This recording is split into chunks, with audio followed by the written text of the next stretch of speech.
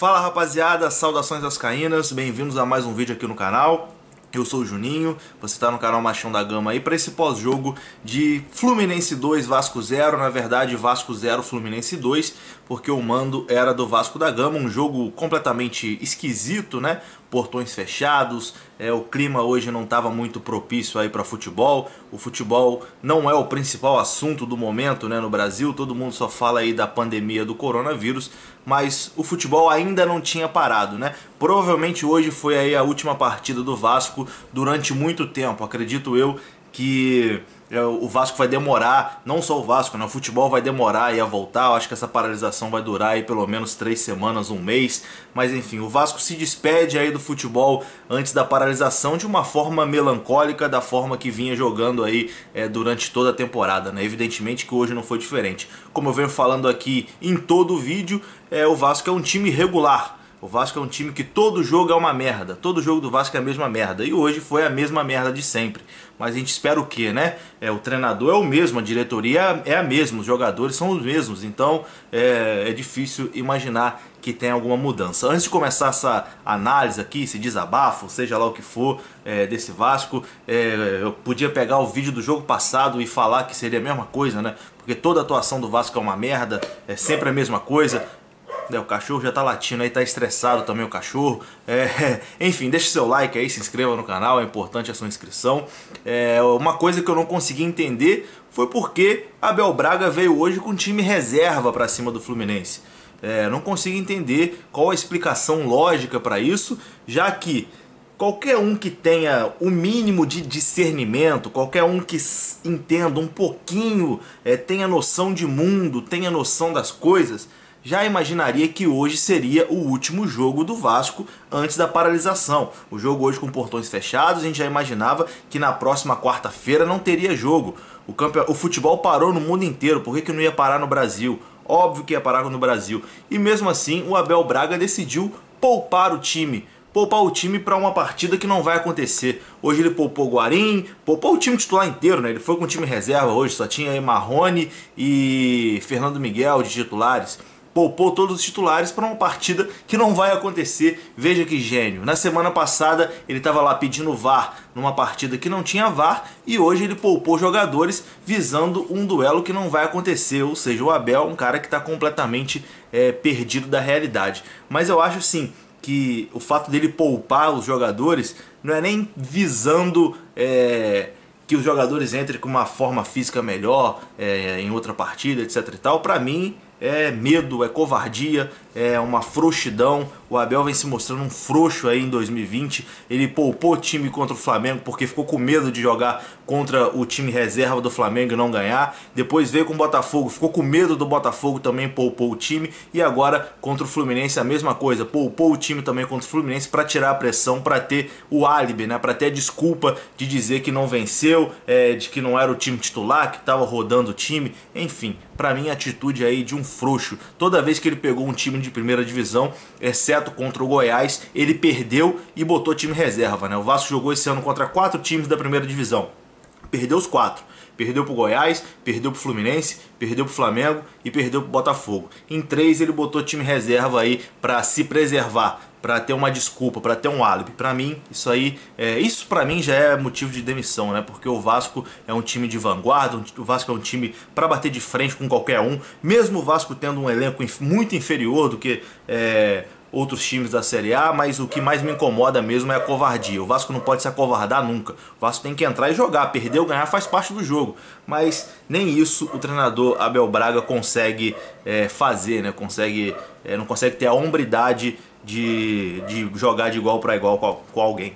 Enfim, vou dar uma golada na cerveja aqui que eu tô nervoso.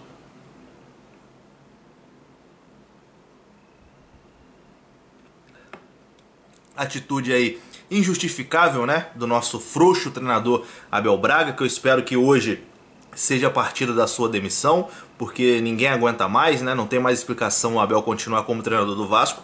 E o momento ideal para o Abel ser demitido é hoje, não tem outro momento para demitir o Abel, porque como eu disse aqui no início do vídeo, como vocês também já sabem, o futebol vai ser paralisado. A Copa do Brasil já foi paralisada, e muito provavelmente o Campeonato Carioca vai ser paralisado. Então o destino, infelizmente por um por um motivo aí bastante triste, né? Por um motivo aí é, de pandemia, enfim, de saúde, é, o destino está dando uma outra oportunidade para o Vasco, é, para o Vasco conseguir fazer um novo planejamento na temporada, porque o planejamento atual deu totalmente errado planejamento com Abel Braga deu totalmente errado. O Vasco em 14 jogos fez 8 gols, o Vasco fez 14 apresentações bizarras e agora o futebol vai parar. O Vasco vai ter o tempo aí para reformular o seu futebol, né? Para trazer um VP de futebol, parece que vem aí o Zé Luiz Moreira e para trocar o treinador. O Vasco vai ter praticamente uma segunda pré-temporada aí com um treinador novo. É a hora de mudar o treinador, é agora. Por isso que essa derrota de hoje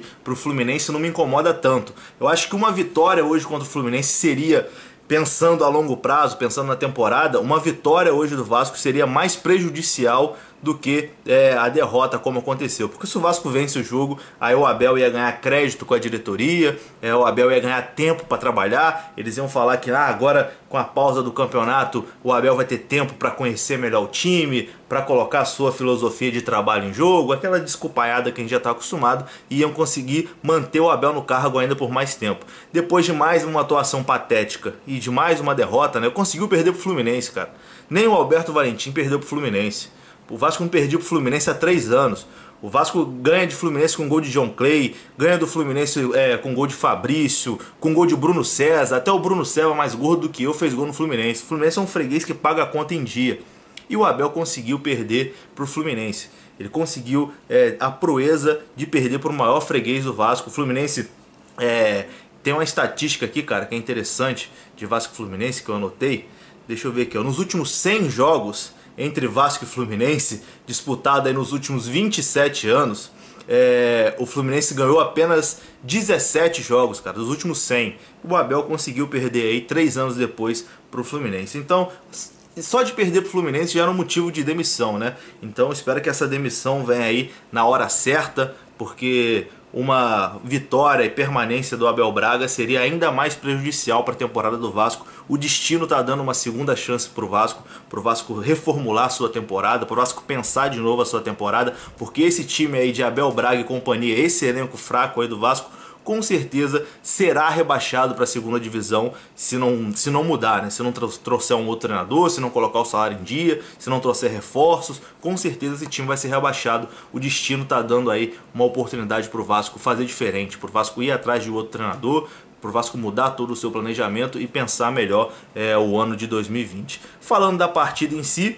o Abel, como eu disse aqui no início do vídeo, foi um frouxo, né? Ficou com medo do Fluminense. Mais uma vez, pegando um clássico, ele ficou com medo e não colocou o time titular. Se acovardou, colocou o time reserva para se eximir de responsabilidade e perdeu por 2 a 0 numa partida aí que, meu amigo, minha Nossa Senhora, hein? Minha Nossa Senhora, uma das piores partidas de futebol que eu já vi na minha vida. Se é que isso pode ser chamado de partida de futebol.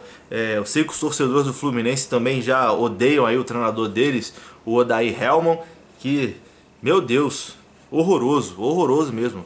Uma partida completamente bizarra. O Vasco até botou um sufoquinho, né? O Marrone teve oportunidades ali é, no primeiro tempo. O Vasco criava algumas oportunidades até. O Vasco corria. Mas aí depois que o Fluminense fez 1 a 0 o Fluminense conseguiu administrar a partida. E depois, já no final do jogo, matou o jogo fazendo 2 a 0 e saindo vencedor. Vitória justa do Fluminense, cara mereciam ganhar. Uma hora a gente ia ter que perder o Fluminense, né? Não é possível também que a gente vai ganhar do Fluminense para sempre.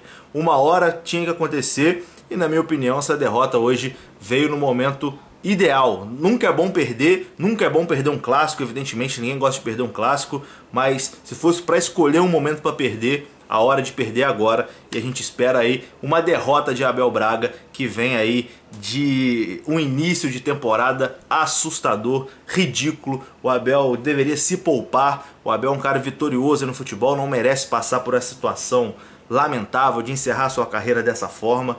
É, eu fico até com um pouco de pena, mas eu tenho mais pena ainda de mim, de você, é, de quem é torcedor do Vasco, que está tendo que aturar esse time do Vasco aí, que, cara, é uma partida pior que a outra. Mas o destino deu uma segunda chance para o Vasco, porque se a partida da Copa do Brasil fosse já na quarta-feira agora, com toda a certeza do mundo o Vasco seria eliminado. eliminado. Agora a gente tem um tempinho aí para reformular o futebol, para tentar pensar diferente, para trocar o treinador e aí quem sabe salvar essa temporada. Dos males o menor, mesmo com todos os erros de Campelo e Abel Braga, o Vasco só perdeu o Campeonato Carioca. O Vasco só foi eliminado do Campeonato Carioca. Ainda tem Copa do Brasil, Sul-Americana e Brasileirão pela frente para tentar salvar a temporada que ainda não está perdida. Está muito perto de estar tá perdida, mas ainda não está perdida.